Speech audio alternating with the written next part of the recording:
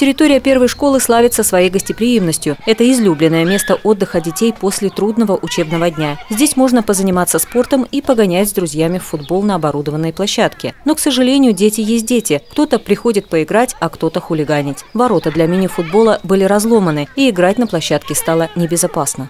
Мы очень любим играть с друзьями в футбол. Когда сломали ворота, мы очень расстроились. Руководство школы обратилось за помощью к своему другу Михаилу Дурманову, который отозвался на просьбу. Ворота на футбольной площадке были отремонтированы. А увидев, в каком состоянии находятся калитки для входа во двор учреждения, он их заменил и установил новые, отвечающие всем правилам безопасности.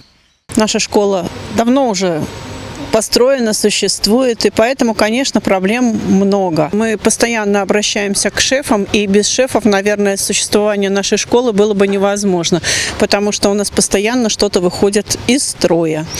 Мы очень благодарны руководителю ЦОС Михаилу Валентиновичу Дурманову, потому что он всегда реагирует на наши просьбы и приходит нам на помощь.